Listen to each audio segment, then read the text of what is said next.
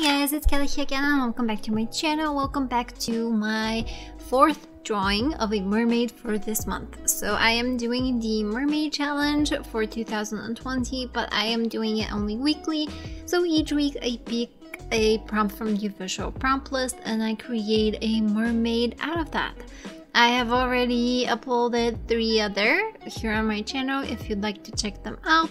I am also doing them as a line art that is available for download on my Etsy shop. So if you want to color along with me, you can do that as well. For this week, I got inspired by the prompt Siren Song and technically it's not a song.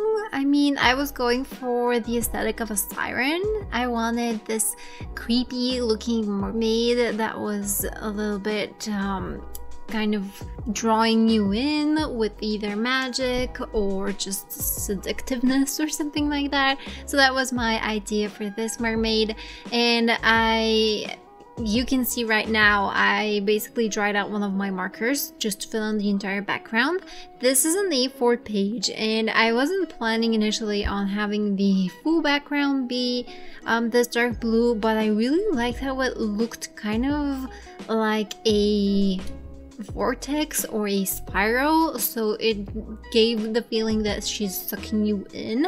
And it also kind of reminded me of a cave so i was thinking maybe she lives underwater like deep deep down in some cave or something. So i thought that was an interesting idea and the streaks in this case naturally would bother me but in this case it kind of worked because of what i mentioned before.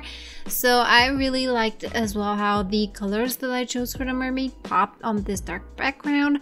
I was considering if I should print the background, um, make it in Photoshop and print it directly, but what fun is that? Why not just waste my marker away to fill in an entire A4 page? I mean, what am I saving them for something?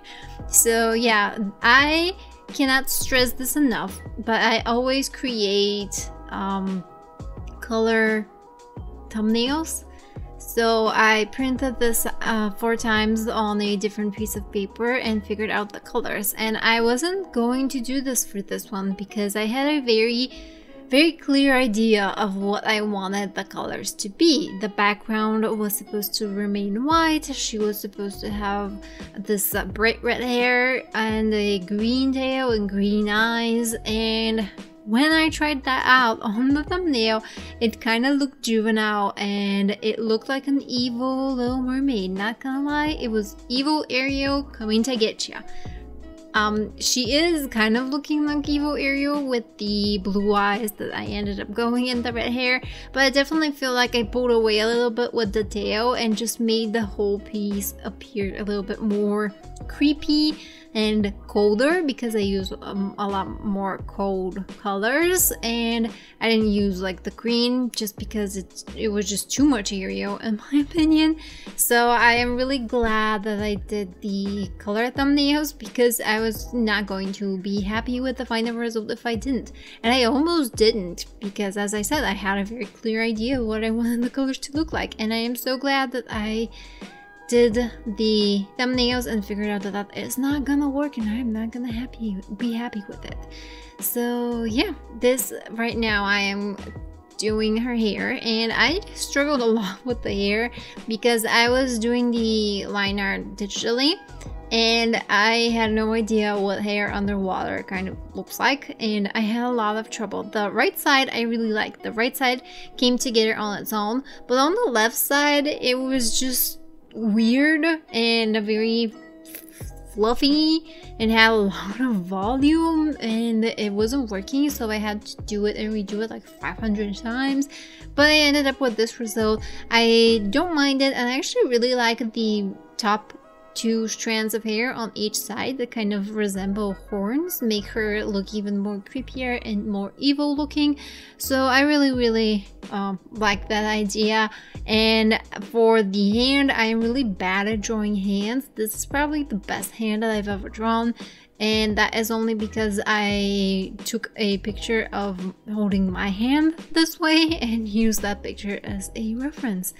And the proportions are probably a little bit off. Her hand is still pretty big and um, her body ended up being a lot more stiff than I initially uh, had the idea for, but I guess I just focused so much of my energy on that hand and the face that the body kind of lacks. But it's also kind of hidden behind her, so I hope you guys don't mind too much.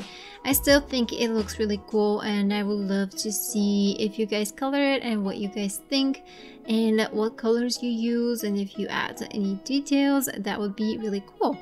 I gave her red lips and red nails, fingernails, to kind of keep in the theme of her being a seductress and that's kind of the cliche idea that I have for seductive women that they have red hair and red lips and red nails.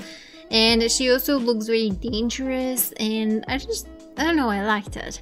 And here I'm doing the thing that I've been trying to do on all of them and that is shade the skin with the purple as I've mentioned this before, everyone here on YouTube and on Instagram, everyone who draws with Copic markers, and not even Copic markers like digitally, everyone shades with purple and lilac and very light purples and I don't understand how they do that. As you can see, it ends up looking very dead and muddy on on my drawings. I don't know maybe because i'm not used to it but here i have the same problem. I cannot speak today. Here i have the same problem but it kind of worked in my favor just because the entire piece is very cold looking so it didn't really bother me that much that she pulled a little dead in terms of skin tone. I think it actually helped her become even more creepy and um, like I said, pull uh, in that creep factor. the eyes I wanted to keep very glassy and again creepy. And i as i was doing them i kept thinking of a friend that i have who is terrified of people with blue eyes which is ironic because i have blue eyes. But he really he really doesn't like people with the very light blue eyes. He doesn't mind the normal blue eyes but the very glassy looking blue eyes that are very rare he gets totally creeped out by, by them. And that's kind of what I was thinking about when I was drawing her eyes. And I thought that was something funny and um, I ended up adding some white details that I didn't record. I actually ended up not recording uh, quite a bit for this just because I was listening to an audiobook and I got kind of distracted while I was drawing. I mean, not distracted, but I got in the zone and just draw, drew, drew, drew, and listened to the audiobook. And I kind of didn't notice um, two separate times where my camera cut off and stopped recording. So I lost a bit of footage, but it turned out to be in my favor because the video is shorter. So I guess it's in your favor as well. So yeah, um, I think I'm almost done with it. I'm gonna finish off the tail and as I said, do a few more details with the white acrylic uh, pen that I didn't record and I'm gonna show you a finished picture in a second. As I said, this is available for is a coloring page on my Etsy. We'll link in the description bar down below.